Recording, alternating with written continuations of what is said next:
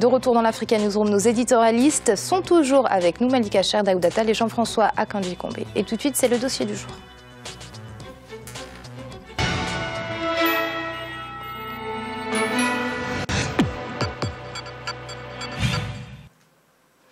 La CDAO, la communauté économique des États d'Afrique de l'Ouest, s'est accordée sur la mise en place d'un tarif extérieur commun. Euh, ce dernier est rentré en vigueur depuis le 1er janvier 2015, une mesure qui vise à renforcer l'intégration économique des pays membres de la communauté. Birama Saounera. 15 États, un seul mécanisme de taxation des marchandises importées, appliqué par les pays de l'Union économique et monétaire ouest-africaine depuis le 1er janvier 2000 le tarif extérieur commun s'applique désormais à tous les États membres de la communauté économique des États de l'Afrique de l'Ouest, CDAO. Il consiste à appliquer les mêmes droits et taxes aux marchandises entrant dans l'espace communautaire indépendamment de leur point d'entrée et de sortie. Il comprend cinq bandes tarifaires de 0, 5, 10, 20 et 35% de droits de douane. Ce tarif commun est la fusion du cordon douanier de la région. Il a pour objectif d'optimiser la production intérieure et d'accroître les gains des acteurs économiques. Le tarif extérieur commun adopté le 12 janvier 2006 par le chef d'État de la CEDAO devrait entrer en vigueur en 2008, mais finalement c'est au 1er janvier 2015 qu'il devient effectif. Cette mesure douanière est-elle mise en application sur le terrain au sein de la communauté? Quels sont aujourd'hui les avantages du tarif extérieur dans l'espace CEDAO Les différents acteurs concernés sont-ils impliqués? L'adoption d'un tarif extérieur commun est une grande avancée pour les États membres de la communauté des États de l'Afrique de l'Ouest. Le texte de la CDAO s'est largement inspiré de celui de l'UEMOA, mais avec plusieurs innovations. Il s'agit d'œuvrer pour une libre circulation effective entre les pays. Un des grands chantiers de la CDAO, c'est l'intégration économique régionale. On ne peut y parvenir sans réaliser un minimum d'union douanière. Et une des étapes essentielles à cette union douanière, c'est la mise en place d'un tarif extérieur commun. Le chef d'État et de gouvernement l'avait déjà décidé. Le Conseil des ministres a examiné le niveau de préparation des différents États pour le passage au tarif extérieur commun avec cette nouvelle disposition, c'est un marché de plus de 300 millions de consommateurs qui va s'ouvrir aux industries du monde, une opportunité pour le secteur privé ouest-africain. Il contribue également à stabiliser durablement la communauté qui reste minée par de multiples crises dont la pauvreté et la précarité sont le terreau. Avec euh, l'adoption du tarif extérieur commun, nous constituons désormais un bloc commercial solide et compétitif capable d'améliorer la contribution de notre organisation et de nos États dans les échanges mondiaux et de dynamiser le commerce intercommunautaire. Cette évolution est d'autant plus pertinente qu'elle est assortie de mesures complémentaires de protection qui sont en réalité des dispositions encourageant l'industrialisation de nos économies. Selon les observateurs, le tarif extérieur commun constitue un élément fondamental pour la compétitivité des économies des pays membres de la CEDEAO. Il se présente aussi comme un outil de politique économique et d'approfondissement de l'intégration régionale. Déjà au niveau de l'UMOA, eh, nous on était jusqu'à la troisième catégorie, on avait les, mêmes avantages, mais on a ajouté deux autres catégories qui permettent en tout cas de protéger un temps soit peu l'industrie locale et ça permet également de faire entrer beaucoup plus de taxes. Donc euh, c'est autant d'éléments qui permettent de dire que le pays gagne beaucoup de choses euh, avec l'application du tarif extérieur commun. Et les opérateurs économiques gagnent, beaucoup d'argent parce que ça permet d'avoir des produits d'autres euh, pays de la sous-région à des prix beaucoup plus accessibles. Donc c'est le consommateur qui gagne, par le pays gagne également. Ce tarif extérieur commun ouvre aussi la voie à la création d'une véritable union économique douanière et commerciale au sein de l'espace communautaire.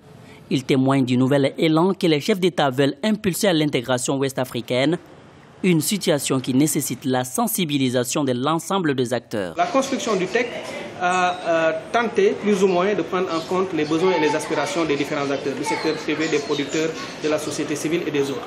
Et c'est ce travail qu'il faudra amener encore un peu plus loin dans, euh, dans l'explication, dans la formation sur le tarif extérieur commun, mais dans la sensibilisation des acteurs. Il faut donc certainement aller au niveau national donner la parole à tous les acteurs, leur expliquer la structure du texte, son architecture, parce que le texte est un instrument très complexe qui concerne plus de 5800 lignes tarifaires. Et cela, euh, euh, les acteurs qui sont sur le terrain, que ce soit dans le monde agricole ou industriel, doivent être conscients de ces enjeux et donner leur contribution à la mise en œuvre, y compris, lorsque ce sera nécessaire, la correction de certaines déficiences qui seront liées au tarif extérieur commun. Ce tarif vise ainsi à favoriser la transformation et l'importation des produits agricoles dans la région. La bande tarifaire la plus élevée à 35% est censée protéger les produits sensibles, notamment ceux agricoles. De nombreuses productions agricoles, comme le riz, appartiennent à la catégorie taxée à 10%. Une situation qui fait craindre au monde paysan des importations massives au détriment des productions locales. Cependant, les autorités de la CEDEAO rassurent. Des mécanismes de sauvegarde sont incorporés et peuvent être utilisés par chaque État. Il est prévu des mécanismes permanents d'accompagnement de tous les États membres L'entrée en vigueur du tarif extérieur commun de la CEDEAO est une étape importante du processus d'intégration régionale. Son application devrait permettre aux différents États membres de respecter leurs engagements en vue de la consolidation et l'approfondissement de l'intégration communautaire de la CEDEAO. Selon les autorités, le premier trimestre 2015 constitue une période d'appréciation de cet instrument douanier cette période permettra aussi de procéder aux différents réglages nécessaires pour une application effective du tarif extérieur commun dans l'espace CEDEAO. Un défi majeur que les dirigeants des États membres de la communauté souhaitent relever au cours de l'année 2015 qui marque la 40e année d'existence de l'organisation régionale. Daouda, concrètement, qu'est-ce que ça va changer, l'application de ce tarif extérieur commun? Euh, ce que ça va changer, Amira, c'est que euh, quand vous avez un, produit qui vient, par exemple, d'Europe ou d'Amérique latine, euh, qui est importé dans un des États, dans un des 15 États de, de, la, de, CDAO, parce qu'à la base c'était 8, 8, États de, de l'UMOA, quand vous avez ce produit qui arrive dans un des États, il y a une taxation unique sur, le, sur, sur laquelle euh, tous les États sont tombés d'accord, avec des taux qui sont annoncés 0, euh, sans taxe pour certains produits, 5, 10, 20, 35 selon les produits, etc. Et donc ce que ça va changer concrètement, c'est, euh, à mon avis, moi, selon moi, c'est des économies qui ne sont pas suffisamment protégées finalement. Une simplicité, certes, dans le commerce, dans l'importation de produits et de denrées. Par contre, euh, euh, c'est des économies qui sont peut-être pas tout à fait protégées. Et là, je veux revenir sur un cas. Bon, c'est important euh, de tarif euh, extérieur commun si vous avez des industries de production, de transformation, etc. Là, vous exportez. Donc, en fait, quand vous exportez, vous acceptez aussi la réciproque. Vos produits ne sont pas taxer énormément et vous acceptez de ne pas taxer énormément non plus euh, les produits des autres, ou en tout cas fluidifier le réseau entre les pays pour que quand un produit est taxé en Côte d'Ivoire, ben, qu'il ne soit pas retaxé euh, à Niamey, etc. Bon, euh, ce que je voulais dire aussi, c'est que ça facilite quand même surtout l'histoire des APE, hein, les accords de partenariat économique que l'Union européenne a voulu entre guillemets, imposé aux États africains dans le cadre d'une nouvelle coopération suite à l'accord de Cotonou en 2000. Parce que sans ce tarif extérieur commun, on n'aurait pas pu euh, mettre en œuvre concrètement les APE, parce que les APE, c'est finalement ça aussi. Donc bon, euh, il y a eu l'UMOA qui a pratiqué ce système pendant un moment. Le bilan n'a pas été tiré sur l'impact et ce que ça aurait pu changer sur les États. Aujourd'hui, c'est dans l'espace CDAO on ne sait toujours pas l'impact réel parce que quand même c'est des baisses en, recettes douanières et dans la plupart des pays africains, dans certains pays en tout cas, les recettes douanières constituent plus de la moitié du budget de l'État. Donc quand on fait des concessions, il faudra s'attendre à gagner autre chose, ce qui n'est pas tout à fait garanti. Alors, Jean-François, on expose ce tarif extérieur commun comme le véritable facteur pour favoriser l'intégration sous-régionale. Vous êtes d'accord? Il y a une représentation du tarif douanier extérieur commun qui correspond à ça. De toute façon, le tarif douanier extérieur commun, le système qui a aujourd'hui le mieux réussi, c'est celui de l'Union européenne. On parlait tout à l'heure de l'UEMOA, mais je pense que c'est cette expérience-là que les États africains ont vue. Euh, il faut se rendre compte que c'est un choix politique de politique d'intégration. On décide euh, d'intégrer un certain nombre d'États, mais sur le plan économique et sur un plan économique qu'on considère comme étant technique. On n'a pas choisi la voie de l'intégration politique, mais celle de par l'économie. Ça a ses avantages, parce que ça concerne tout le monde tout de suite, mais à mes yeux, ça présente également un inconvénient. Je, peux y aller d'ailleurs tout de suite, j'allais dire, j'y reviendrai. Ça présente un inconvénient qui est que le tarif douanier extérieur commun, pour qu'il marche, et je réponds à votre question, de mon point de vue, il est neutre. Un tarif douanier extérieur commun, il est neutre. On peut le tirer dans un sens comme dans l'autre. Et il faut de la volonté politique derrière pour pouvoir protéger son marché vis-à-vis de produits qui viennent de l'Europe, par exemple, qui est dans, un, dans le, rapport de force avec nos États, qui est dans une position euh, beaucoup plus avantageuse pour placer euh, une protection des, euh, de, voire même des industries naissantes africaines, des petites et moyennes entreprises qui naissent en Afrique vis-à-vis, par exemple, de la Chine. Nous avons un dumping chinois considérable. C'est une question de rapport de force. Moi, ce que je crois, c'est que le tarif douanier extérieur commun poursuit tous ses objectifs, peut atteindre ses objectifs si on remplit deux conditions. La première, c'est qu'il euh, y ait, il soit assorti d'une vraie politique commerciale commune. C'est ce que l'Union européenne a fait. Une politique commerciale commune qui n'est pas seulement de placer des barrières, mais de s'unir pour aller négocier à l'OMC. Parce que c'est là que les choses se passent. Et la deuxième condition, à mon avis, c'est qu'à l'intérieur, on ait vraiment une vraie intégration, c'est-à-dire la disparition des obstacles au commerce interne, pas seulement des obstacles douaniers, mais des obstacles de, à caractère technique, tels que des mesures, euh, des mesures par exemple de, je sais pas moi, de normalisation. Euh, Lorsqu'on se mettra, trois pays du CDAO se mettront à produire par exemple du chocolat. Ils décideront des normes euh, par exemple, pour la production du chocolat, il faut 90%, 70%. L'emballage doit être comme ça parce que aussi il faut l'exporter vers d'autres marchés. Et généralement, sur ces petits éléments techniques, il y a des États qui jouent la concurrence là. Et, et il faudra on est juste au début d'un processus, il faudra observer et voir s'il n'y a pas des résistances, parce que les éléments évidents que sont les droits de douane et les quotas et la politique des quotas, ces éléments-là, tous les États sont plus malins que ça. Ils trouvent toujours, à travers la législation fiscale, à travers la législation euh, technique, etc., des obstacles aux échanges, et il faudra observer comment tout cela se déroule, mais j'aimerais bien que la coopération quand même politique, l'intégration politique, prenne la tête, parce qu'après tout, le politique d'abord, l'économique suit euh, l'intention. Oui, parce que la CDO a l'air de miser énormément sur ce tarif extérieur commun, mais ce n'est pas le seul facteur qui va favoriser l'intégration régionale. Effectivement, mais pour en revenir rapidement à ce qu'a dit euh, Daouda, parce que j'étais euh, d'accord avec ce qui vient d'être dit, euh, on ne sait pas comment vont se comporter les États après la mise en place de ce, de ce tarif-là, euh, commercial extérieur. Com... Tarif extérieur commun Oui, voilà, exactement. Est-ce que, que ces États qui vont perdre des recettes quand même fiscales ne vont pas être tentés à mettre des, une TVA plus élevée, euh, des taxes, d'autres taxes pour euh, finalement compléter ce manque de recettes. Voilà. Exactement. Donc là, c'est un peu l'inconnu par rapport à ça. Même si dans un monde mondialisé, on est conscient qu'il faut une intégration économique entre les États, et ça, c'est important. Mais le problème, c'est cela, c'est comment vont faire? Parce qu'on est la diversité, on est dans une région où il y a des diversités des économies. La capacité, la capacité de production de chaque État n'est pas la même.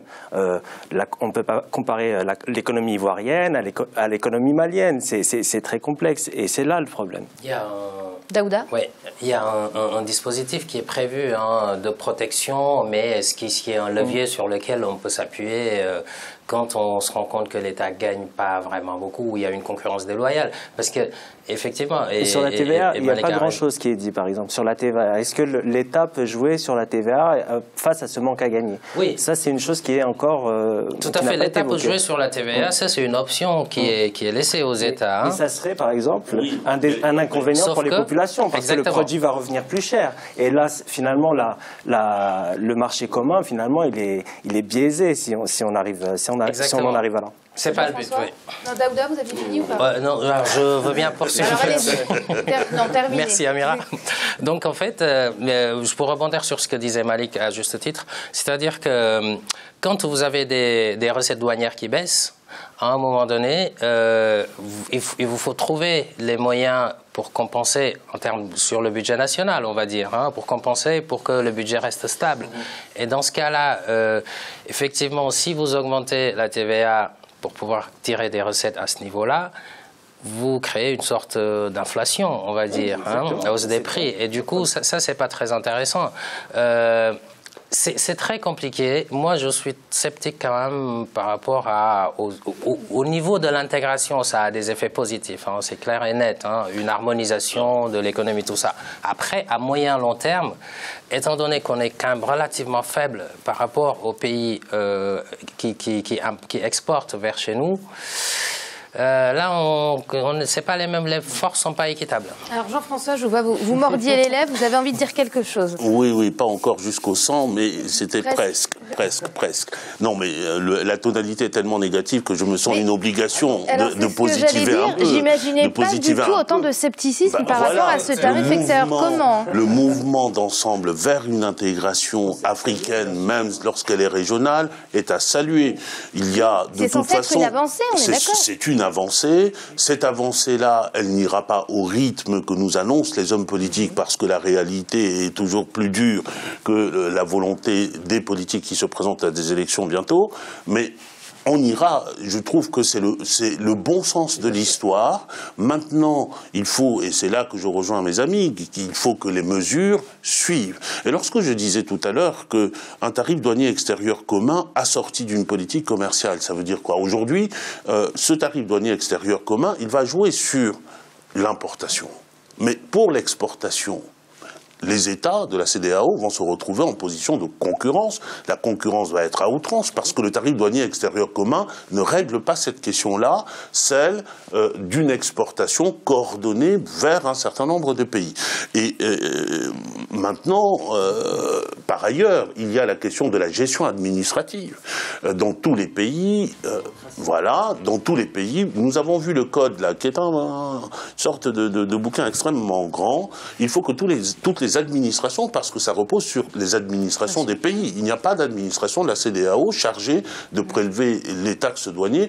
Le code définit simplement euh, ce qu'on appelle les, voilà, les points d'entrée, euh, le principe selon lequel une marchandise qui arrive, quel que soit le pays, doit être soumise à cela. Après, c'est une question de confiance. Il faudra vérifier également que toutes les administrations appliquent de la même manière et avec la même efficacité ce tarif douanier extérieur commun, parce que s'il y en a un qui veut faire le malin, ça veut dire qu'il recrée euh, une situation davantage compétitive par rapport aux autres, il peut faire exploser le système de cette manière-là.